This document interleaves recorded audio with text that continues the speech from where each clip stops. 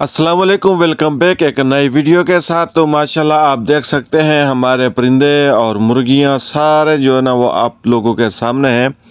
तो आज बहुत खुशी हुई जो मैं ट्रैक इस्तेमाल कर रहा था अपने परिंदों के लिए, जो इनको मैं पानी के साथ और ख़ुराक के साथ जो आइटम मैं दे रहा था, अल्हम्दुलिल्लाह वो अच्छा एक मेरा तजर्बा भी रहा और मेरे परिंदों के लिए भी बहुत मुफीद रहा। आप लोग देख सकते हैं कि हमारे परिंदे जो ना, वो सारे बिल्कुल ठीक हैं। और किसी परिंदे में कोई गर्मी नहीं है, ताकि कोई परिंदा ऐसा नहीं है जिसने गर्मी की वजह से पर, परों को नीचे फेंका हुआ हो, नीचे गिराया हुआ हो, या कुछ परिंदे जो है ना, वह मुर्गे हों या मुर्गियाँ हों वो हाँप रही हों गर्मी की वजह से, ऐसा कुछ भी नहीं है। अल्हम्दुलिल्लाह, जो मैंने इस्तेमाल किया, वो बिल्कुल ठीक है।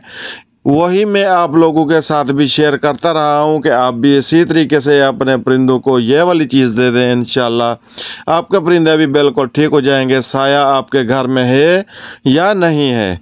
थोड़ा साया भी हो तो भी परिंदे आप जो है ना वो एडजस्ट कर लेते हैं। बस शर्त यह है कि अपने परिंदों को आप ओपन छोड़ दें।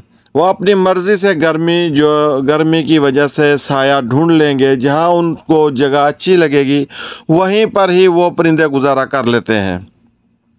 तो दोस्तों, सबसे पहले तो आप लोगों ने पनीर लेना है, जो पंसारी की दुकान से मिल जाएगा।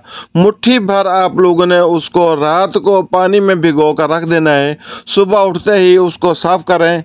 और बीज वगैरह जो है ना, वो अगर डाल दें मुर्गियों को, अगर वो खाते हैं तो तो भी ठीक है, नहीं खाते तो फेंक दें। वो पानी जो है ना, आप लोगों ने तीन मरतबा अपने परिंदों को देना है। यानी पनीर का पानी सुबह भी देना है, दोपहर को भी, शाम को भी। इसी तरीके से आप अगले दिन आलू बुखारा लेकर आएँगे पंसारी की दुकान से। वो दो पीस या तीन पीस आप रात को भिगो दें, सुबह उठते ही वो निकाल कर रख दें और पानी को तीन मरतबा अपने परिंदों को आप पिला दें।